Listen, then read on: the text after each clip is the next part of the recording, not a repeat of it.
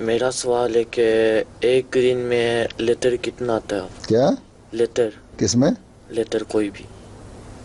वो ये सवाल करना चाहते हैं कि हजूर आपकी खिदमत लोग खत लिखते हैं वो एक दिन में कितनी तादाद में कितनी ज़्यादा होती हैं? बाज़ दफ़ा